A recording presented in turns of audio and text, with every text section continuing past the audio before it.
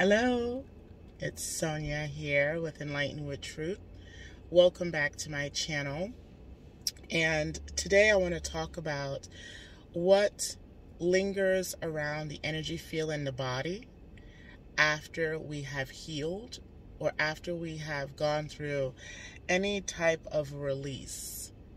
I want to talk about something that is not mentioned that has been downloaded to me two nights ago, and I've been really sitting with it, thinking about, yeah, this is important to understand that even though we have healed through something, that there is a residual energy around the body's field that has what we've just healed from.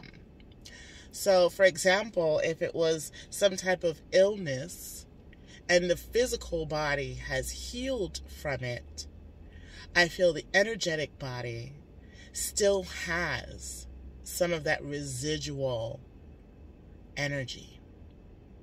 So that's something I want to talk about today. And I even had to take notes down because when I start to, excuse me, channel and get into these types of downloads, I really have to start writing it down for me not to forget.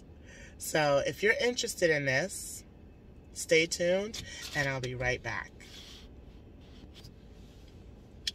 So the residual body is the body that is outside of our physical space. It's this energy field that I would like to say starts from, you know, 8 to about 12 inches. And then we connect to the physical. So there is this belief, and, and science probably has proved it, but there's this belief that before we even get sick or before we even get, you know, the cold or the flu or something more extreme, not saying that the cold or flu is not extreme, that it first manifests itself into the atmosphere, the energetic body around us. And then it starts to communicate, connect with the physical body, and we get physically ill. So, this residual body or this residual energy field is right here, right within our, what we like to call, you know, our personal space. And I feel like Spirit has me talking about this because I want you to know that this is important for us after we've healed to also heal this part of our body, work on this part of our body, and to cleanse it, to release what we've now healed, also heal it in the residual body. So, the residual body, what Spirit has told me is that it holds on to what happened. It holds on to what happened. Therefore, the energies are remained behind. And so it's left within the surrounding body feel. So think about that. You've just physically healed. You're no longer physically sick. Yet the sickness, the illness, the disease, and let's take it to another level. You've just released a thought, a negative thought but now it's no longer in the physical mind, but it's in the residual body. That residual energy, I get it's like a flux around us. It looks like if it's an, an egg shaped energy, from what I can see. And it still has all of the stuff that the physical body just healed from.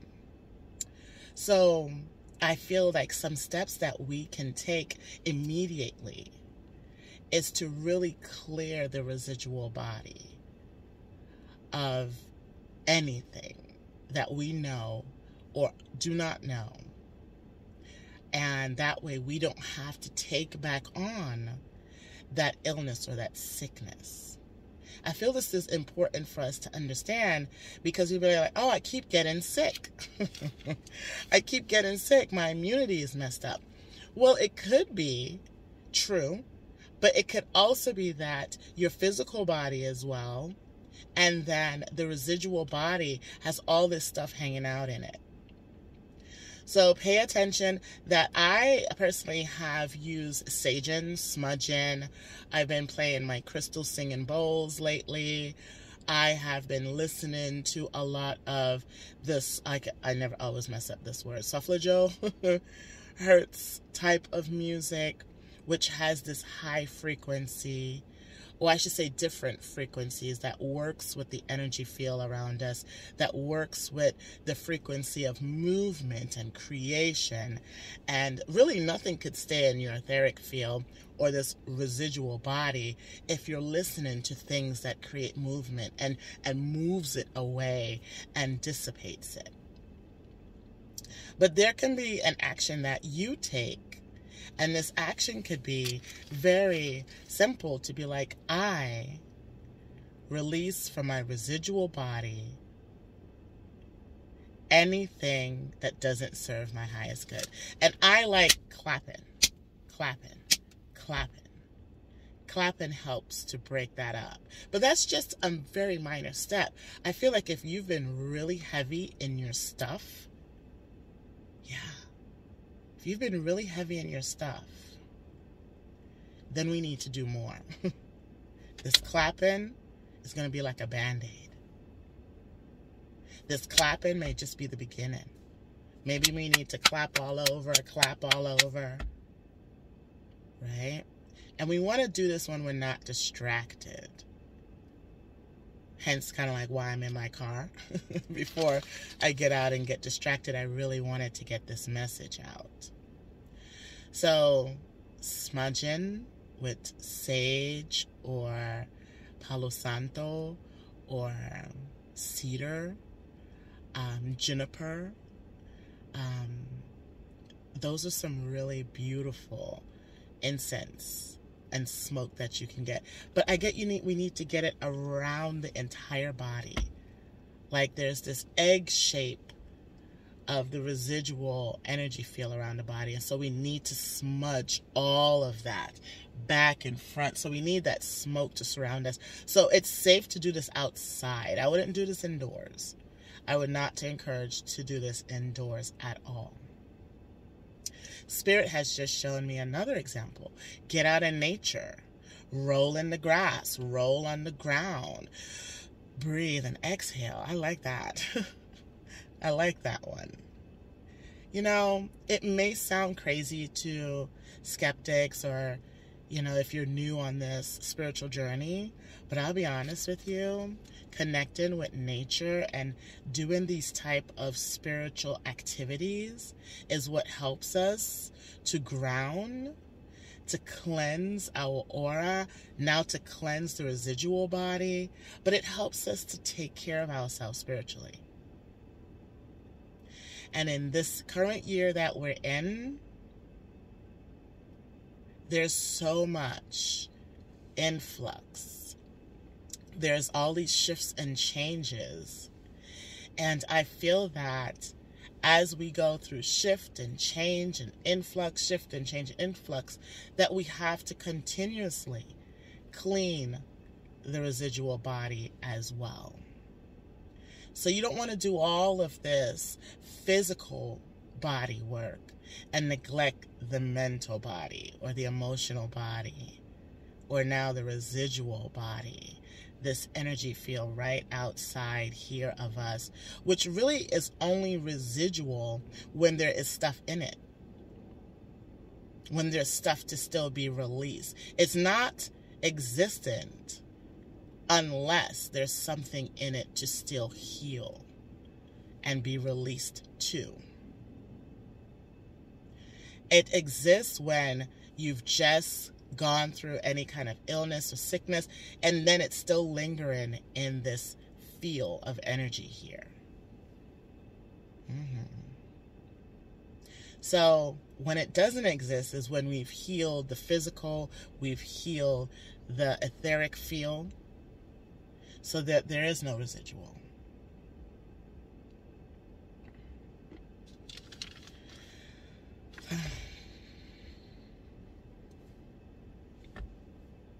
Hmm.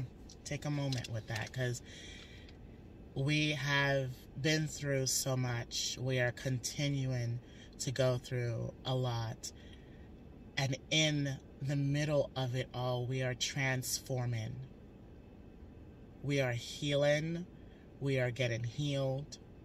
We are regenerating. We are being regenerated. We are restoring. And we are being restored. So the last thing we need to do is to be careless that we didn't clean this beautiful etheric energy around us that's so close to us that we may feel physically fine and then we feel like but something still feels off. It's because it's right there. Something kind of feels off because it's still right there.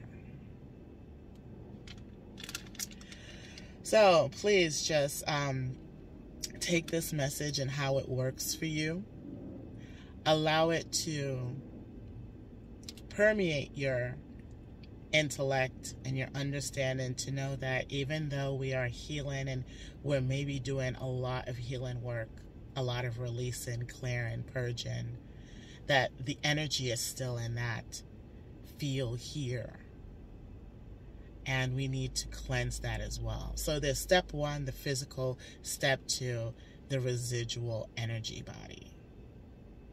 And once we do that, it's no longer residual. Now it's just that etheric body. And it's like we're starting clean again, a nice, fresh, clean page. Um,